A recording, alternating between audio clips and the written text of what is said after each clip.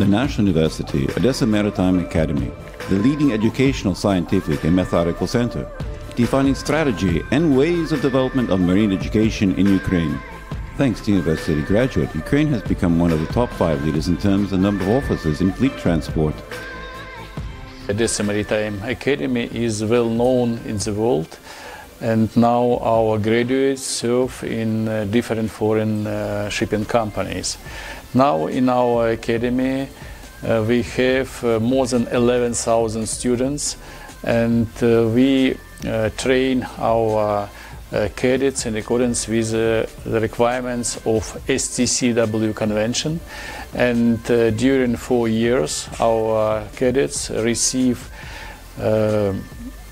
bachelor degree and they have 12 months of on-board training and uh, in future they receive certificates of uh, competency as a watch officers or watch engineers or electrotechnical officers.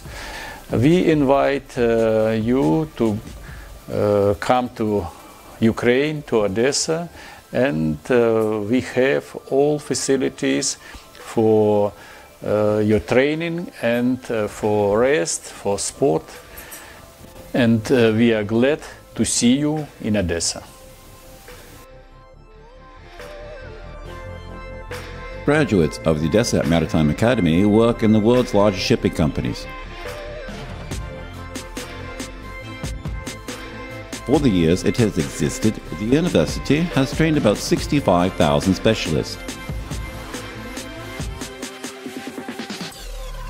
Seven academic buildings equipped with a state-of-the-art laboratory, training equipment and water station. The university has a powerful material and technical base, which any university could be proud of, not only Ukrainian, but also foreign.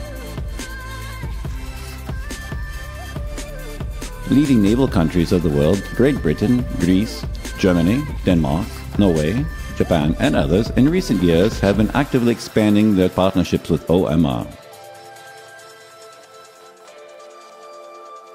A 50 meter Olympic class swimming pool,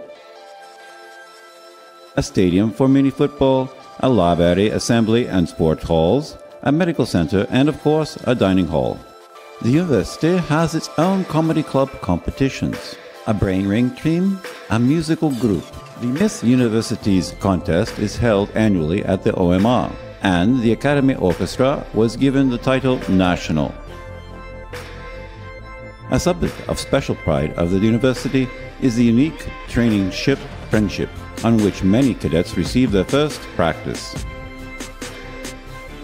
The main principle of teaching at the university is providing a versatile higher education. Cadets of OMR receive a special international diploma that meets all the requirements of the International Convention on Training, Seafarers Certification of Watchkeeping.